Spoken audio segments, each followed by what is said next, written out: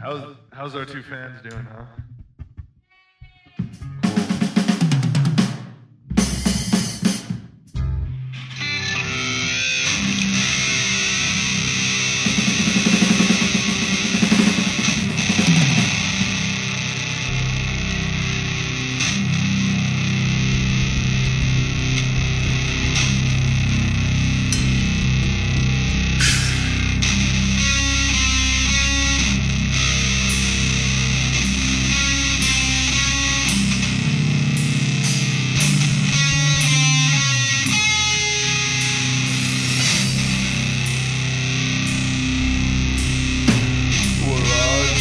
girl.